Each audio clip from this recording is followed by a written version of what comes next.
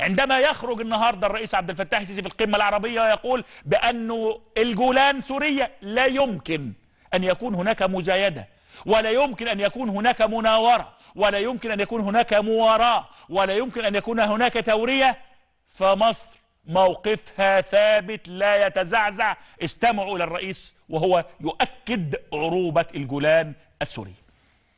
الصراع العربي الإسرائيلي والذي أثق في أننا جميعا نتفق على أنه لا مخرج نهائي منه إلا بحل سلمي شامل وعادل يعيد الحقوق إلى أصحابها بحيث يحصل الشعب الفلسطيني على حقه في الدولة المستقلة وعاصمتها القدس الشرقية وتعود الجولان المحتلة إلى سوريا.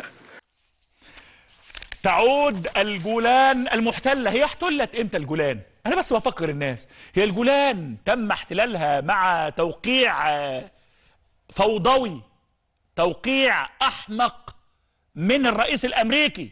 على إن الجولان إسرائيلية؟ لا. الجولان احتلت في 67 تم احتلال الجولان مع احتلال سيناء في 67 يعني تم احتلال الجولان مش النهارده ولا امبارح ولا اول ولا مع ترامب ولا مع اللي قبليه ولا اللي قبليه ولا اللي قبليه. ده سنة 67 موقف مصر ثابت. الموقف المصري ثابت لم ولن يتغير.